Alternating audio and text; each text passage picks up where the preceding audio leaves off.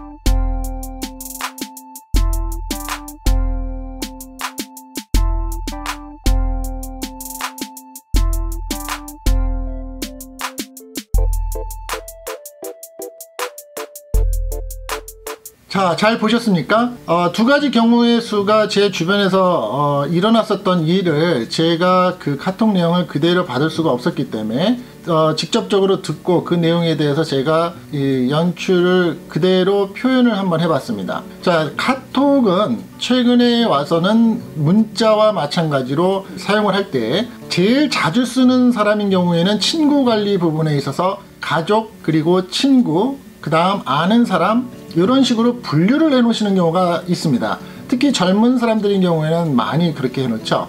그리고 카톡의 그 이름 옆에 보시면은 푸샤라고 해서 사진까지 나와 있습니다. 때로는 뭐 경치를 두기도 하고 또 자기가 좋아하는 사진을 놓기도 합니다. 그 옆에는 내가 전화번호로 저장을 해놓은 카톡 아이디나 아니면 실명이 적혀져 있죠. 그런데 이 카톡의 사기가 어떻게 되느냐면 굉장히 혼동을 할 수 있고 젊으신 분과 연세가 있으신 분이라고 해서 구별을 할 수 없을 만큼의 아주 교묘한 방법으로 처리가 되고 있습니다. 어떤 내용이냐고요? 영상에서 제가 예시로 처음에 보여드린 것처럼 가족과 친구들 그렇게 되면은 자주 카톡을 나누시는 경우를 보입니다. 그 가, 족과 친구들이 나눈 카톡의 내용의 대화 형태 그대로 어, 카톡에 문자가 오기 시작을 합니다. 그래서 어, 이름도 그대로 하고 말투도 평소 주고받았던 말투 그대로 들어오게 됩니다. 그렇게 되면 받는 사람 입장에서는 전혀 의심의 여지가 없게 되죠. 왜냐하면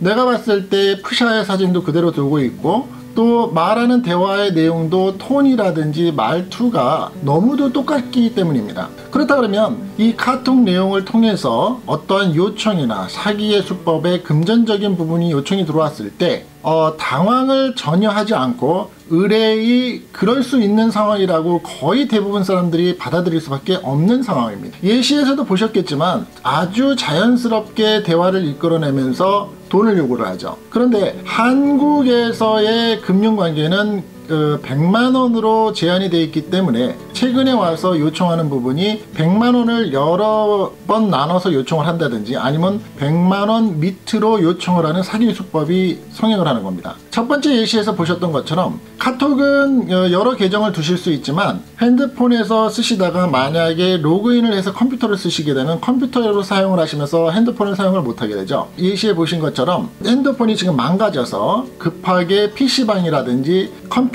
로 접속을 해가지고 카톡을 치고 있기 때문에 전화 통화를 해서 확인할 수가 없다. 그리고 우리가 제일 많이 쓰고 있는 화상 채팅이라든지 음성 채팅을 할 수가 없다. 보이스톡이라 그러죠. 페이스톡이라고 하고 이런 내용들을 할 수가 없다라고 하면서 더 이상 의심의 여지를 닫게 하고 요청하는 겁니다. 처음 영상에서 보신 것처럼 아주 자연스럽기 때문에 100만원 미만이기 때문에 쉽게 거절을 못하고 들어줄 수 있는 상황입니다. 보셨던 것처럼 두 번째인 경우에는 또 다른 경우인데 한국은 미국하고 틀려서 2번 수석을 하실 때 일단은 수속을 하시면서 금전적으로 기재를 해야지만 되는 경우가 있습니다. 미국은 그렇지 않죠. 일단은 치료부터 하죠. 그런데 급하게 119를 타고 갔다고 했을 때 핸드폰밖에 못 가지고 왔다.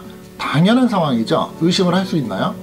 그런 상황에서 카드 번호하고 뒷자리 보안 세 자리 코드를 주면 어, 바로 일단 요즘에는 인터넷 결제도 되기 때문에 병원에서 수납을 하고 입원 수속을 밟을 수 있기 때문에 도와달라. 그리고 그게 제일 가까운 장모님이나 가족인 경우에는 특히 의심을 할 필요가 없죠. 자, 개인정보가 어떤 형태로 빠져나가는 거에 대해서는 불만을 갖거나 그거에 대해서 문제를 삼을 수는 없습니다. 왜냐하면 지난 영상에서 제가 한번 보여드렸던 월마트 사기 사건도 마찬가지지만 개인정보가 대기업이라고 하더라도 빠져나가서 해킹으로 인해서 정보가 유출되는 부분은 내가 잘못을 한 건 아니지만 대기업에서 운영하고 있는 서버나 아니면 커다랗고 아주 중요하게 처리되는 보안이라고 할지라도 개인정보가 빠져나가고 있는 경우가 다반사이니까요. 그렇기 때문에 우리가 조심할 수밖에 없는 거죠. 이제 특히 한국에서 지인이나 친척들이 요청을 할 때에는 요즘에 핸드폰으로 모두 결제가 되는데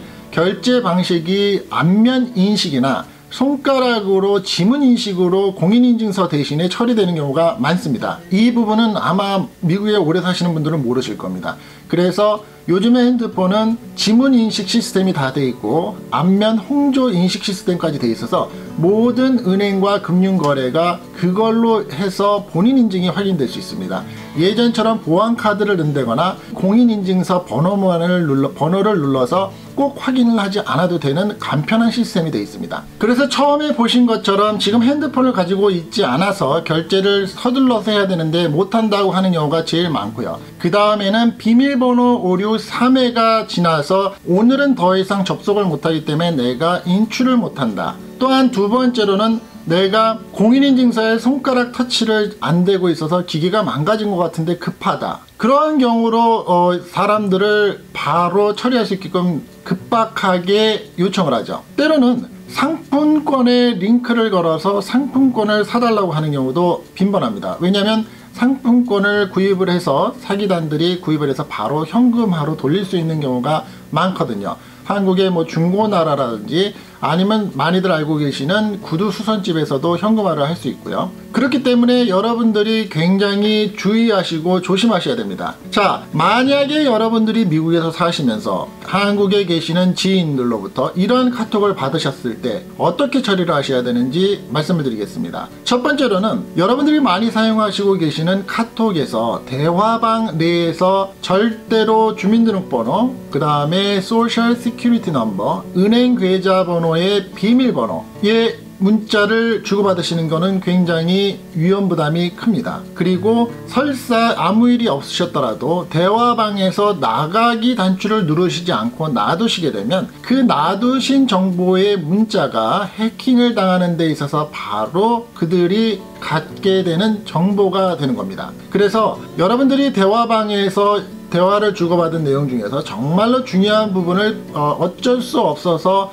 주고받으실 경우에는 바로 주고받으신 다음에 지우시는 게 좋고요. 두 번째로는 그러한 카톡을 받으셨을 때 어떠한 일이 있으시더라도 당사자하고 통화가 어렵다라는 내용을 받으시게 되면 주변의 친인척 친구들을 다시 한번 확인하셔서라도 전화로 꼭 음성 확인을 하셔야 되는 겁니다. 그 다음에 이런 사고를 당하셨을 때에 내가 미국에서 사기를 당하셨으면 미국에서 신고를 하셔야 되지만 대부분의 해킹을 하는 사기범들이 중국과 동남아시아를 근거를 삼고 있기 때문에 한국하고 주고받으셨었던 내용에 대해서 사기를 당하셨을 경우는 한국의 그 지인을 통해서 한국의 사이버 수사대에 요청을 하셔야만 됩니다. 자, 세상이 돌아가면서 IT가 발전을 하고 그 편리성 때문에 예전에 비해서 지출인 국제 전화를 하지 않고 어, 카톡을 대신하면서 영상 통화까지 할 수 있는 좋은 세상이 되었습니다.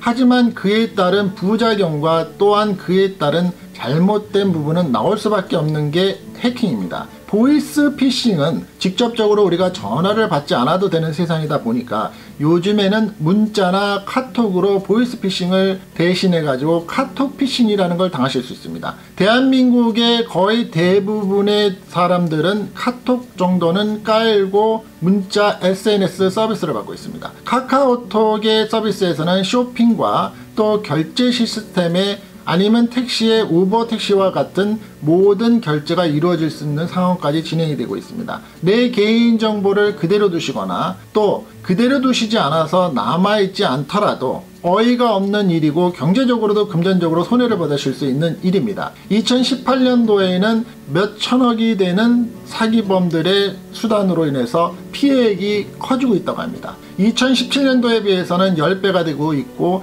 2019년도는 더 큰 피해액이 발생할 수 있습니다. 카톡은 아시다시피 국제 간에도 아무런 문제 없이 주고받을 수 있는 문자 서비스이기 때문에 여러분들 한국의 지인과 친구 또 내 중요한 부모님이 계실 텐데 꼭 주의하시고 이러한 문자를 받으셨을 때는 절대 로 먼저 행사를 하지 마시고 음성으로 확인을 하십시오. 좋으셨으면 이쪽 아래에 있는 구독 버튼, 구독 안 하신 분들 같은 경우에는 이쪽 아래에 있는 구독 버튼 꼭 눌러주시고요. 덤으로 좋아요 버튼도 이쪽에서 눌러주시면 감사하겠습니다. 오늘 영상 여러분들한테 큰 도움이 되셨길 바라면서 다음 영상에서는 더 중요하고 좋은 영상으로 찾아뵙겠습니다. 뉴욕 키다리쌤이었습니다. 감사합니다.